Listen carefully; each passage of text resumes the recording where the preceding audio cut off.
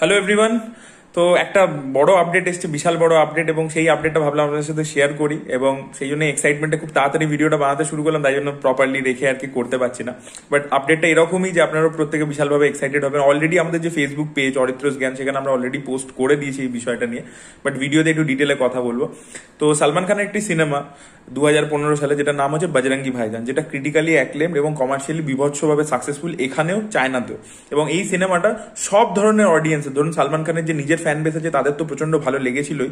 তার বাইরেও যে ফ্যামিলি অডিয়েন্স আছে, প্রত্যেকে মানে মাস টু ক্লাস প্রত্যেকের মন জয় করেছিল বজরঙ্গি ভাইজান। তো সেই বজরঙ্গি ভাইজানের পার্ট টু আসছে ইয়েস তো অ্যাকচুয়ালি বজরঙ্গি ভাইজানের গল্পটা মানে স্টোরিটা লিখেছিলেন হচ্ছে K V Vijayendra Prasad KV Vijayendra Prasad হচ্ছেন এস এস রাজমৌলি যিনি বাহুবলী ডিরেক্টর ওনার বাবা।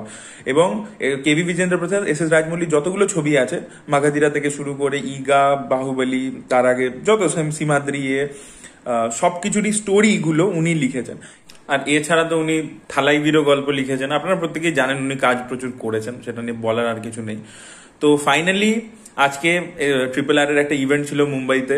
সেখানে এস এস রাজমৌলি, তারপরে জুনিয়র এনটিআর রামচরণ প্রত্যেকে এসেছিল। সালমান খান ওয়াজ ইনভাইটেড কারণ জোহরও ছিল।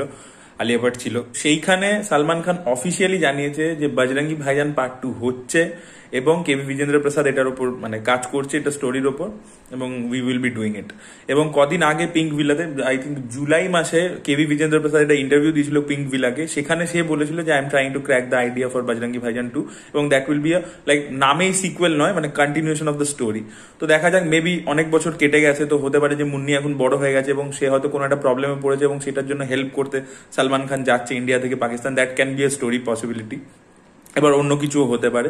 এবং that would be a very emotional film এবং আমার মনে হয় যে সেটাও এটা খুব ভালো হবে।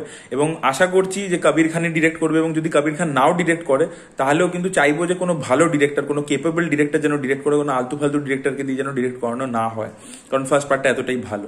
তো এটা ছিল বাজরঙ্গি ভাইজান টু আসছে, সেটা নিয়ে একটা আপডেট এবং আরও একটা কথা বলে দিই, সালমান খানও কিন্তু এই যে পরপর অনেকগুলো বাজে ছবি দেওয়ার পর এখন কিন্তু চেষ্টা করছে নিজেকে রিইনভেন্ট করার। আপনারা যদি দেখেন, আন্তিম ছবিটা কিন্তু সালমান খানের অন্য ছবির থেকে কিন্তু আলাদা।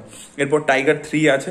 মাঝে একটা মাসালা মুভিও আছে ভাইজান বলে, যেটা সাজিদ নাডিয়ারওয়ালার সাথে করছে that would be a commercial movie but ওটা বাদ দিয়ে ভাইজান, তারপরে যেটা ব্ল্যাক টাইগার বলে করছে নীরজ পান্ডে একটা স্ক্রিপ্ট শুনিয়েছে, জিন্দাবাদ বলে। তো সেটা তালিবানের বিভিন্ন তালিবানরা কীভাবে লোকেদেরকে কিডন্যাপ করে সেসব বিষয় নিয়ে। তো সালমান খানও কিন্তু চেষ্টা করছে যে অন্য ডিরেক্টরদের সাথে কাজ করে ডিফারেন্ট কন্টেন্টে কাজ করে, আবার কাম করার। তো আশা রাখছি যে এই সিনেমাগুলো ভালো হবে এবং সে কাম ব্যাক করতে পারবে।